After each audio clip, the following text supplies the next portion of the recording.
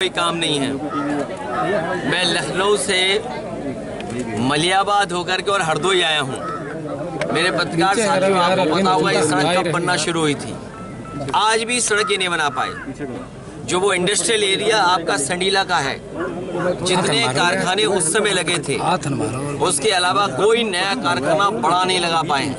नीचे तो जो लोग रोज़गार नहीं दे रहे हैं, नौकरी नहीं दे पा रहे हैं, और लगातार महँगाई बढ़ रही हो, जिसकी सरकार में भेदभाव हो रहा हो, आरक्षण से खिलवाड़ हो रहा, है हो रहा हो, और संविधान को समय समय पर ये चोट पहुँचा रहे हो। इनके पास इसी तरह के जुमले हैं कि हैशटैग चलाएँगे किसी के बारे में गलत भाषा का इस्तेमाल करेंगे गलत नारे बनाएँगे और जो नारा बना था जिस लैब से वो लैब वाले भी स्वीकार कर रहे हैं कि पीडीए का कोई मुकाबला नहीं है पीडीए परिवार का सामना नहीं कर सकते ये लोग। सर 27 का एक बैनर लगा है एक पोस्टर लगाया गया आपके समाजवादी पार्टी के दफ्तर पर। उसको लेकर आज एक केशव प्रसाद मौर्य का बयान आया कि 27 छोड़िए सैतालीस तक का सपना जो अखिलेश जी देखना देखिए आप सब चैनल वाले लोग हैं और अगर यूट्यूब न सब्सक्राइब करें आप तो बीच बीच में विज्ञापन आ जाता है, और विज्ञापन बड़ा परेशान करता है। तो मुख्यमंत्री जी जो चीज़ फेस नहीं कर सकते हैं तो इस तरह के कुछ लोगों को वो सामने रखते हैं। हालाँकि आजकल सर्कस बंद है, नहीं तो आप जानते होंगे कि सर्कस में उस गैप को फिल करने के लिए कुछ ऐसे लोग रखे जाते हैं जो गैप फिल कर सके। तो ये किसको कह लगातार ये अरे मेरे पत्रकार साथी बहुत समझदार हो। Deputy CM Keshav deputy CM Keshav Prasad Maurya कह रहे हैं कि भाजपा सारी सभी सीटों पर जीतेगी और सपा का भविष्य अंधकारमय है। हम लोग जोड़ेंगे और आगे बढ़ेंगे। जोड़ेंगे बीजेपी को हराएँगे। सर, जौनपुर में आज एक हत्या हुई है। ताई कमांडो खिलाड़ी की हत्या हुई। कानून व्यवस्था पर आप लगातार सवाल उठा रहे हैं। अनुराग यादव नाम का लड़का है, जिसका गला काट के हत्या की गई है। प्रशासन समय समय पे निष्पक्ष कार्रवाई करे। प्रशासन अगर जनता की सुनने लगे तो आज घटना जौनपुर में जो हुई है, ऐसी घटना नहीं होती। प्रशासन प्रशासन और सरकार के लोग न्याय नहीं दे पा रहे, इसीलिए इस तरह की घटनाएँ हो रही हैं। जौनपुर में इससे पहले एक बिंद परिवार के नौजवान को पीट पीट करके पुलिस ने मार दिया। उसी जौनपुर में पुजारी यादव की भी हत्या हुई। अभी कुछ दिन पहले लखनऊ में आपने देखा होगा, मोहित पांडे की हत्या हुई। उससे पहले गौतम जो दलित समाज से नौजवान था, उसकी हत्या हुई। तो ये कस्टोडियल डेथ और पुलिस मनमानी कर रही है। इतना करप्शन और भ्रष्टाचार कभी नहीं हुआ होगा जितना इस सरकार में हो रहा है। और बीजेपी वाले बचाने वाले लोग नहीं हैं। बीजेपी के लोग फंसाने वाले लोग हैं। ये लोगों को फंसाते हैं, बचाते नहीं हैं, फंसाते हैं। और बीजेपी किसी की सगी नहीं है। ये हमसे मत पूछो, ये बीजेपी वालों से पूछो। और बीजेपी वालों से बेहतर कोई नहीं जानता होगा कि बीजेपी वाले किसी के सगे नहीं है। भाजपा के लोग भाजपा के लोग कह रहे कटोगे तो बटोगे। देखिए तो कटोगे। ये पीडीए की ताकत से घबरा करके ये नारा निकाला गया है। और ये किस लैब में तैयार हुआ है? और सबसे सुटेबल व्यक्ति कौन हो सकता था? उसके लिए हमारे मुख्यमंत्री जी को आगे लाया गया। इस बार पीडीए लोगों को जोड़ेगा। पीडीए की बढ़ती हुई ताकत से बीजेपी घबराई हुई है इसीलिए इस तरह के नारे दे रही है। सर पीडीए को लेकर कह रहे हैं कि परिवार डेवलपमेंट अथॉरिटी है। ये आज उनका बयान है कि वो पीडीए को ये बता रहे हैं।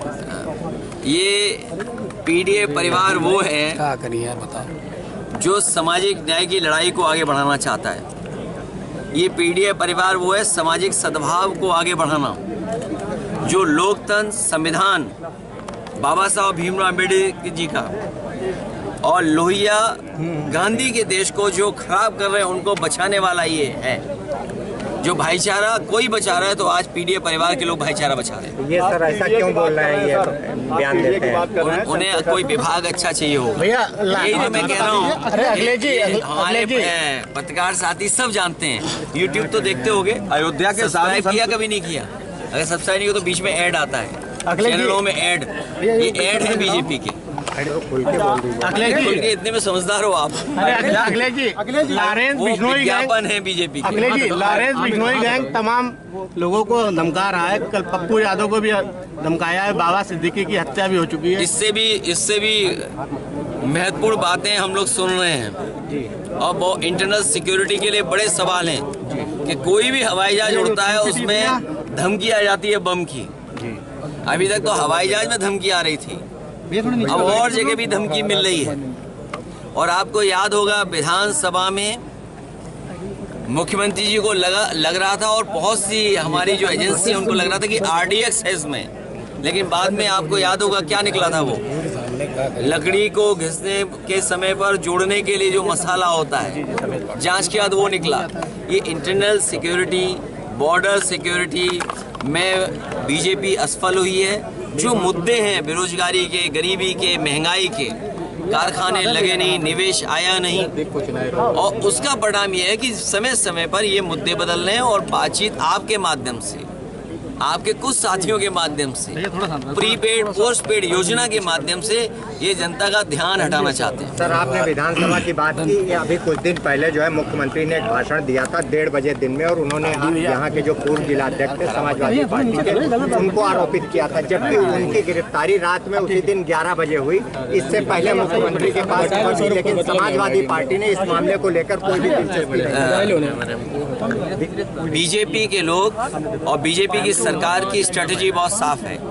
पहले तो झूठा फंसाओ और झूठा फंसाने पर इतना बदनाम कर दो मीडिया के माध्यम से कि कोई अगर मदद करने आए तो उसे भी प्रशासन के माध्यम से झूठे मुकदमे लगा करके फंसा दो।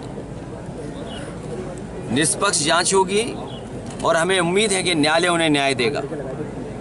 और बीजेपी के लोग तो ऐसे हैं, हमारे पत्रकार साथी, अगर आप में से कोई सच्चाई दिखा दे भ्रष्टाचार की भी खबर चला देगा। तो ऐसा मुकदमा लगेगा ऐसी धाराएँ लगेंगी कि आप हाईकोर्ट में भी घूमते रहना आप जमानत नहीं पाओगे। उपचुनाव को लेकर कितने कितनी कितनी सीटें पा पाएँगे नौ में से नौ पीडीए परिवार सीटें जीतने जा रहा है। अयोध्या सांसद अयोध्या सांसद अवधेश प्रसाद को लेकर साधु संत लगातार विरोध कर रहे हैं कि राम मंदिर ना ही दर्शन